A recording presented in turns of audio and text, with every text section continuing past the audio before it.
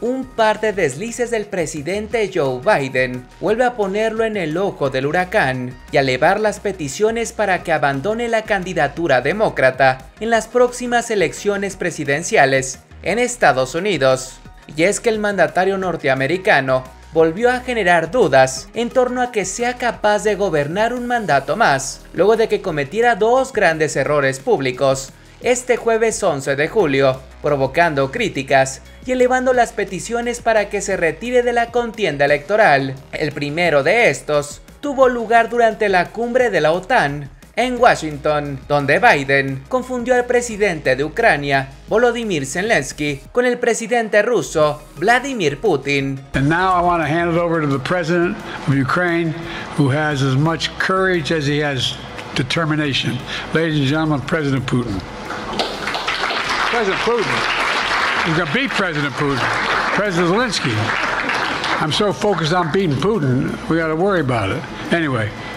El otro error lo cometió durante una conferencia de prensa posterior al mencionar en su discurso al vicepresidente Trump en lugar de a su compañera Kamala Harris. Look, I wouldn't have picked Vice President Trump to be vice president until I think she was not qualified to be president.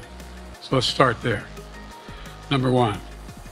El confundir a Zelensky con su enemigo, el mandatario ruso Vladimir Putin, ha sido considerado para algunos como el último clavo en el ataúd político del mandatario, quien con estos errores estaría sepultando su candidatura. Y es que no solo los demócratas dudan de su capacidad para ganar las elecciones de noviembre, sino los mismos votantes se cuestionan que un hombre de su edad y con estas señales de confusión clara sea capaz de gobernar a una de las naciones más importantes del mundo. Tal ha sido la preocupación que estas acciones han generado que incluso los demócratas decidieron enviar mensajes al presidente Joe Biden para que deje la carrera por un segundo mandato al frente de la Casa Blanca. Específicamente, tres legisladores demócratas de la Cámara de Representantes le pidieron al presidente Biden que se retire de la candidatura. Los congresistas Eric Sorensen,